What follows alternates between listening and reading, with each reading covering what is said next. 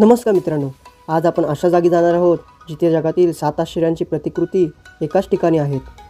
सांताक्रूजवरून आम्ही छत्रपती शिवाजी महाराज टर्मिनस ही ट्रेन पकडून आम्ही उतरलो डोकियार्ड रोडला.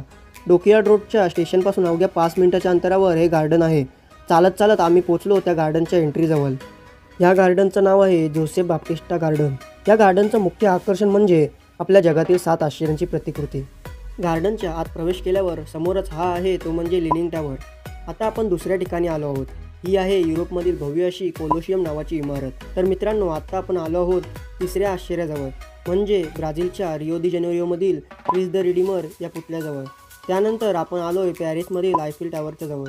पाचवं आश्चर्य ते म्हणजे न्यूयॉर्कमधील स्टॅच्यू ऑफ लॅबेटरी आणि इथे आहे मेक्सिकोमधील पिरॅमिड. आणि आता आपण आलोय आपल्या भारतातील ताजमहलजवळ. संपूर्ण गार्डन फिरून झाल्यावर आम्ही निघालो आमच्या परतीच्या प्रवासाला.